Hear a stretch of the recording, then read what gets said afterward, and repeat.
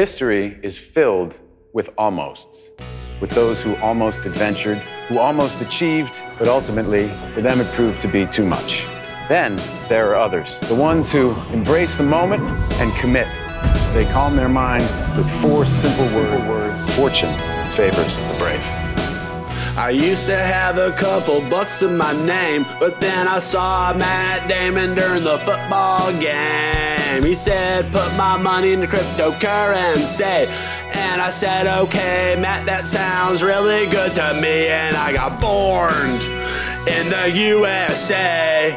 And now I'm filing for bankruptcy. Yeah, I got born in the USA.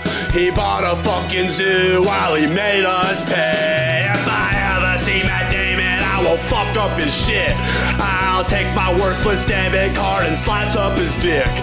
Electrocute his nips with Ben Affleck. There's no saving Ryan's privates after what he did. Cause we got born in the USA.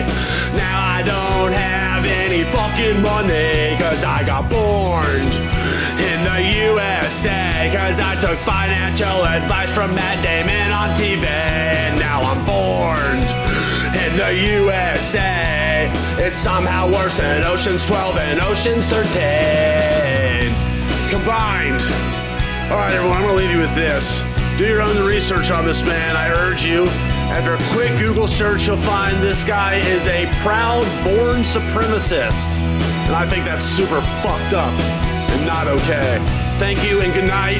DJ, make the music go up as I leave so I look super cool. Thank you! Thank you, New Jersey! Fuck! I need money. How do I, how do I get money?